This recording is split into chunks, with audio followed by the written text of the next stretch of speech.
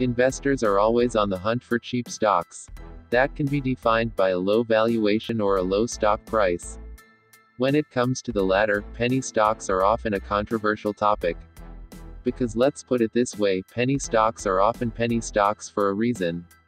High quality companies pulling all the right moves don't usually find their stocks trading in this group. I define penny stocks as companies with a share price of about $5 or less. Some investors won't touch penny stocks. Others trade or invest in these names exclusively. Investors who dabble in this arena must accept a higher degree of risk.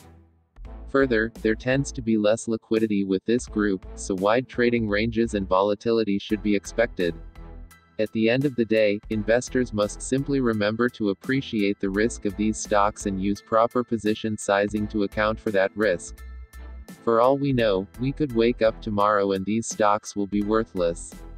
With all that in mind, let's look at a 6 penny stocks to start off the year. Spanish banking group CaixaBank is an interesting penny stock to consider.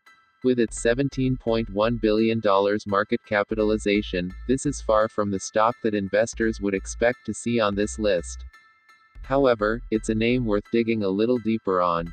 Barcelona-based CAIXY stock has had a difficult run. However, the stock is up nicely from its low near 50 cents during the March 2020 sell-off. If it can find some momentum this year, could it get to the $1.75 to $1.85 area where it topped in 2018? If we see the global economic recovery that economists are hoping for this year, banks should be big beneficiaries of a stronger economy. Last month, shareholders voted in favor of the bank's merger with local rival Bankia in a deal that will form Spain's largest domestic lender. Throw in the fact that this penny stock pays out a 1.9% dividend yield and investors may have even more reason to take notice. Further, the company is actually profitable. Trading near $4.50, OPKO Health could be an ideal penny stock for speculators. If shares can find momentum, perhaps the stock can retest the 52-week high from July near $6.50. If it does that, the stock will be good for a 47% rally. On the flip side, $2.90 to $3 has been support. A few years ago, this was a double-digit priced stock. In 2015 shares of OPK stock were trading for more than $19 apiece.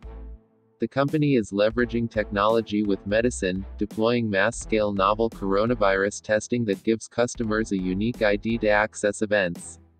Could this quickly become mandatory for planes or events? Possibly, but there's no guarantee it will. Even if it does, coronavirus will not be here forever. But that's not all OPKO has going for it. On January 4, the FDA accepted Pfizer and OPKO's application for treatment in pediatric growth hormone deficiency. While the company is not yet cash flow positive or profitable, OPKO has a solid balance sheet. Total assets of $2.37 billion easily tops total liabilities of $747 million. Obviously the company has to deliver, but it's showing promise. Mustang Bio is a name that some investors may already be familiar with. The clinical stage biopharma company was flagged on October 28 as one our seven cutting edge biotech stocks to watch. It is focused on potential cures for hematologic cancers, solid tumors, and rare genetic diseases. On that date, shares closed at $2.56 and already, the stock is north of $4.50. Obviously there's been some excitement in the stock ahead of the American Society of Hematology annual meeting scheduled for mid-January.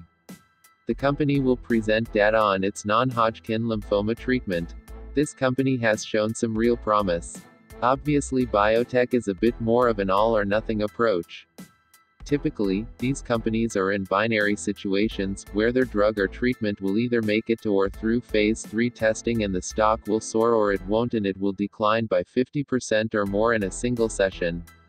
It's looking more and more likely that the world is building pent-up demand to get back to regular life. With a vaccine here and starting to work through the public, it will hopefully only be a matter of time before we return to a state of normalcy.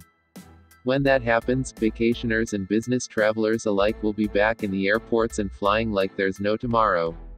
I don't know when, but eventually airlines will be stuffed and cruises will be full. That will spur demand for new jet orders and with it, jet engines, which will get Rolls Royce back in action. Admittedly, the business has been going through a tough time as a result of the pandemic. But as long as it can hold out, and I think it can, then RYCEY stock could outperform down the stretch. Keep in mind, shares saw a 52-week high of $9.21 less than a year ago. Now the price is hovering above $1.50. Clovis Oncology. In July 2017, this stock hit a high above $99, as its market cap pressed the $5 billion mark.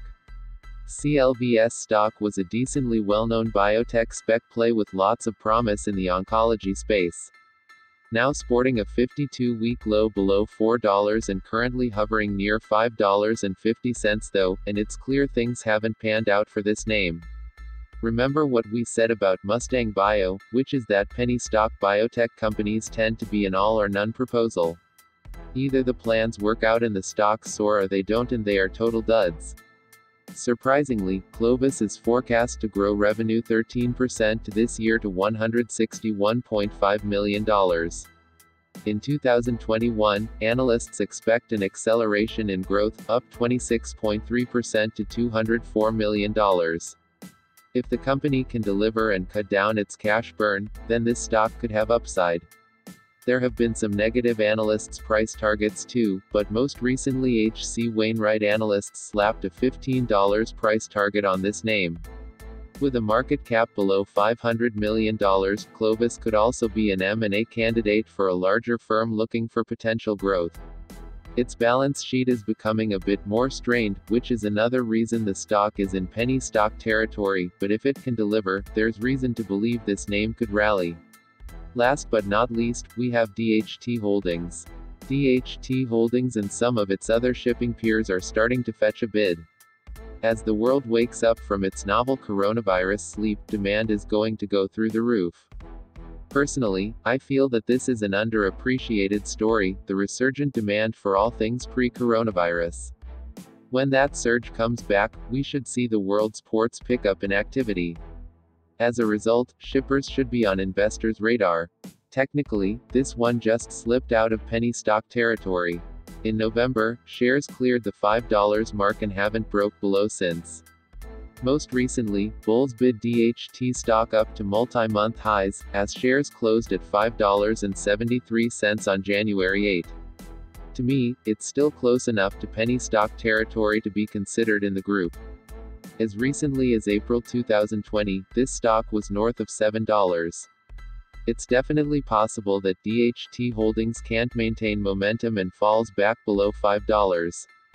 In that case, $4.50 could be on the table.